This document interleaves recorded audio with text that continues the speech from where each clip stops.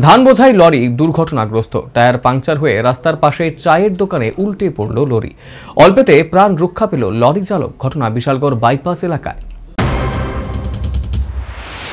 কৃষকদের কাছ থেকে সরকারি মূল্যে কেনা ধান বোঝাই লরি পরপাথারি থেকে আগরতলা দিকে যাচ্ছিল। সে সময় বিকেলে লরিটি টায়ার পাংচারজনিত কারণে হঠাৎ উল্টে গেল। ঘটনা বিশালগড়ের বাইপাস এলাকায়। লরিটি কার্যত চায়ের দোকানের উপর হুড়মুড়িয়ে পড়ে। কপাল ভালো সে সময় চায়ের দোকানে কেউ ছিলেন না এবং লরির চালক তৎক্ষণাৎ লরি থেকে লাফিয়ে নিজেকে রক্ষা করেন। বিকট শব্দ শুনে স্থানীয় সাধারণ বেরিয়ে এসে সেই দৃশ্য প্রত্যক্ষ করলেন।